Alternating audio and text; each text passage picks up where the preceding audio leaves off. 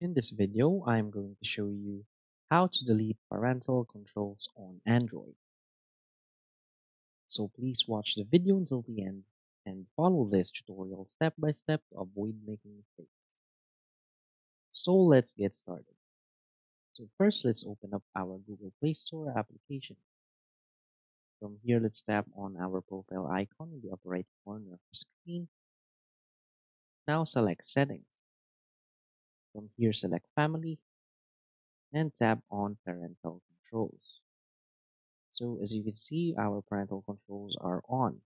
This setting is restricts uh, games to be played when you're under a specific age. So if you want to turn this on, you will need to enter a PIN. So if you forgot the PIN to this uh, parental control settings, what you can do is to go to your app settings. Go to your phone settings. Now go to your app settings. From here, just search for Google Play Store.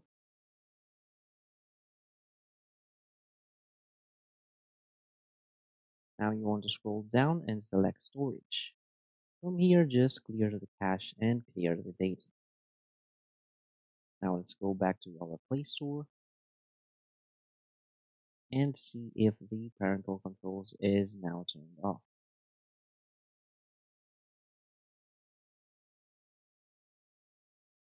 And as you can see, the parental controls now are now turned off. So that is how to delete the parental controls on Android.